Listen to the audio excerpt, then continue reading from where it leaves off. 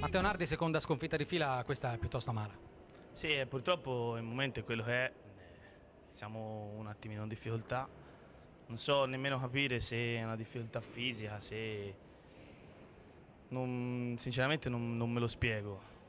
E purtroppo sono due partite che ci dice male, commettiamo degli errori, troppi, e puntualmente veniamo, veniamo castigati.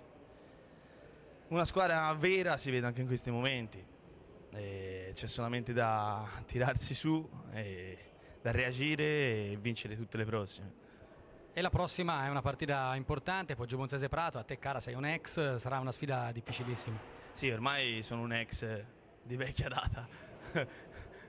ormai non sono più un ex. E vabbè, sarà una partita interessante. Vediamo. Sicuramente dobbiamo cercare di limitare al minimo, anzi allo- pari allo zero, gli errori. Tanti errori in difesa e l'attacco anche un po' poco cinico.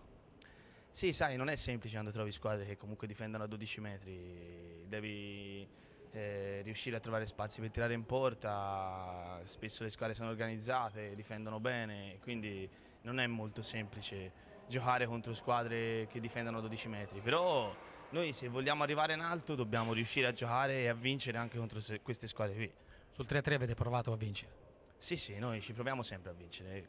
Una caratteristica di questa squadra è che mm, non scende mai in campo né per un pareggio né per eh, limitare danni, niente. Noi- per noi il chiodo è sempre lo stesso, è sempre fisso. Sono tre punti. Purtroppo a volte ci riusciamo, a volte chiudiamo le partite prima, addirittura della fine, a volte, come è successo sabato scorso e oggi, non ci riusciamo e nonostante il recupero eh, non riusciamo a mettere mm, quel, quel qualcosa in più che ci, ci- ci farebbe vincere le partite.